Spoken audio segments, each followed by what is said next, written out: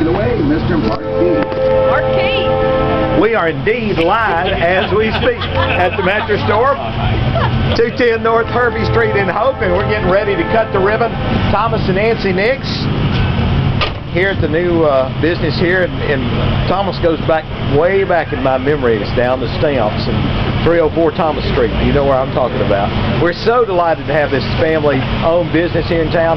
I told somebody this is the kind of business you love, a mom and pop business, a family-owned business coming to town, and we hope that you're here for a long, long time and have the kind of success you've had at Nix Home Center down in the Stamps. Well, before you get officially opened up, you have to get the official welcome. And this gentleman right here is not only the Vice Mayor of the City of Hope, but he's also the newest Commissioner of the Arkansas uh, uh, Rural, what do you call it? Rural Development, we'll just say that. Arkansas Rural Development, so you got a double whammy. The Vice Mayor of the City Hope, David D.J. Johnson. Take it away, sir. Thank you, Mark, my good friend. Thomas and Nancy, boy, welcome to Hope. And I hope everybody can hear my voice in radio land.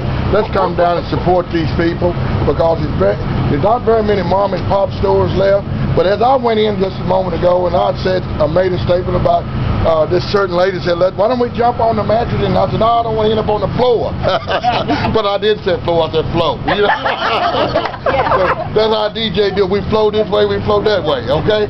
But Thomas and Nancy, anything that, that City of Hope can do for each one of you within reason, feel free to call on us. Thank you very much. And, and like I said, come down and see Thomas. Back to Mark.